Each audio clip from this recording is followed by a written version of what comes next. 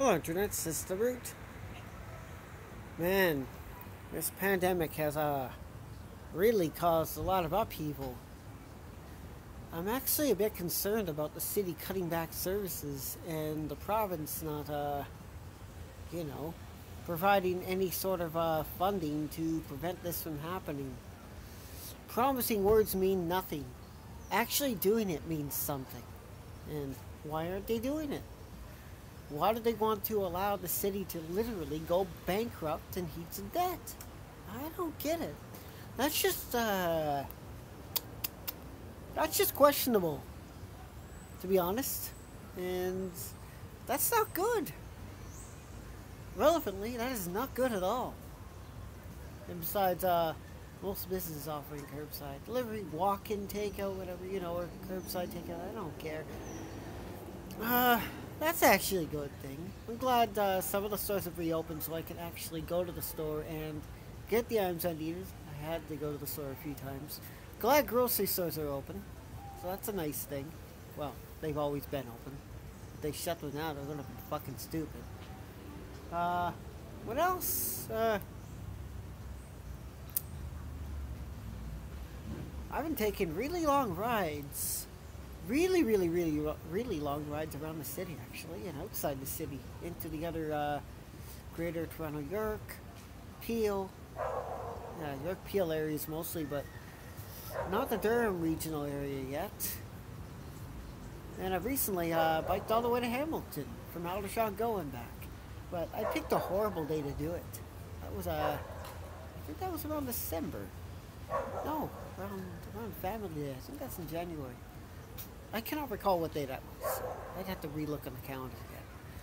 But it was a horrible day to choose because it was really windy. Heavy east winds, which ended up changing to heavy west winds. Heavy west, then they turned around overnight and went to heavy east. Made it almost impossible for me to get back. It took me ages to get back. 15 hours. Actually, no, not 15 hours. It took me 12 hours to get back normally, if it wasn't that windy, it would have only taken me, to be honest, about, uh, let's say, 10 hours to get there, in between a hotel stay and then to get back.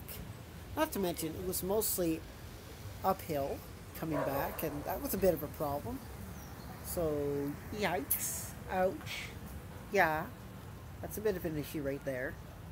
So, uh, yeah. So far, let's just say this week I've done a total of 546 kilometers. That's a lot.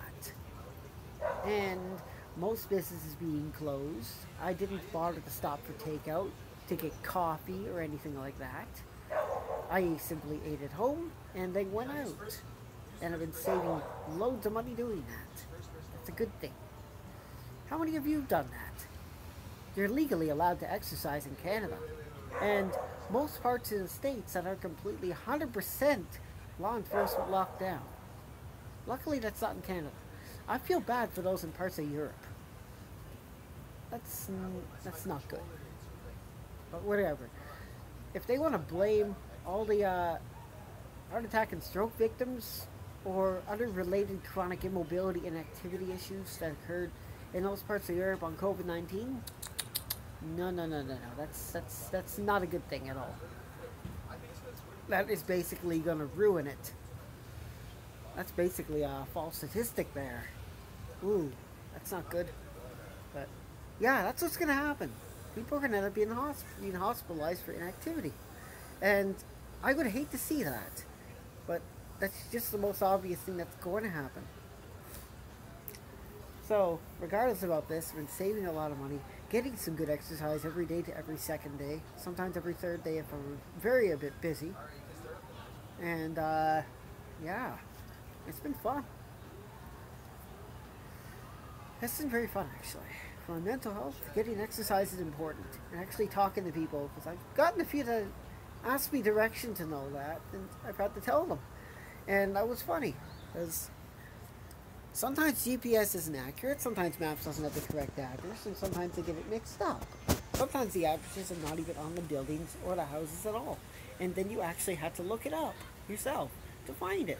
And That involves sometimes driving if you drive a car, or riding if you use active transportation, or walking if you're on foot. And yeah, it can be confusing because I've, I've done DoorDash a few times. I got to do it again because you know the weather's beautiful again. I can finally do it. Apparently it's not horribly windy because that can make me late. How is that relevant to this video? Nah, but whatever. That's what I do sometimes. So, uh, yeah. Oh, the other part is, which I should have done in the first part of the video, I'm very proud of the, uh, Mayor and other advocates doing the ActiveTO thing. That means major road closures to provide calm streets and even side streets being closed. That allows basically turning one-way streets into two-way. I've noticed that quite a bit, quite a bit in the area between Eglinton, Lawrence, Keele, Caledonia, I should say, because the road split, and uh, Yonge, and parts of the east too. That's very nice and very good. The streets are actually for people. If you haven't ever figured that out, that was before cars ever got invented. And you know, if it hadn't been for the bicycle, cars wouldn't have been invented at all. So that came after. Interesting fact, isn't it? Look it up if you feel like. So I've been taking advantage of that, and that's great. Anyways, although non-relevant to this video, whatever, because it's a video blog, I have actually gotten a nice large pillar candle. It's inside this can. It took me a while to cut it short because it was butchered. Very horribly butchered, but now it's back to normal. And that's also a candle. But once that's all burnt down, because it's all rusted, I'm going to replace it and I'm going to recycle it. Anyways, just thought I'd uh, do a short video, or maybe a long one, and yeah, see you around, people. Cheers, and peace out, and keep on riding, keep on rocking this out, because the only way we're going to be doing it is physical distancing. A mask will not protect you in that case if you're close to somebody, because maybe it kind of might, but there's a high chance it might not. It involves a false sense of security. I've already known that for a fact. And uh, don't stay home 24 7 because you need to exercise. Unless you got the equipment at home, it's good to get out in the fresh air to exercise. Otherwise, you could run into issues. Recirculated air is not a good thing, and you need to get out in the sun. Remember, sunlight does good things for you. If the UV rate is high, use sunscreen. That's what I would do too. Anyways, peace out. Thank you for watching. And feel free to subscribe for more. It costs nothing. And I don't get paid to do any of this shit either. I used to. And then YouTube changed the rules. And then some cuck actually ruined my channel by flagging every single video specific to their disliking. Yeah, I'm sure it's not just happened to me. It's happened to millions more content creators having the same problem. Someone dislikes your thoughts and opinions of freedom of speech, and just decides to take everything down and result of that. It's sad, it's disappointing, and it's really immature. Anyways, cheers.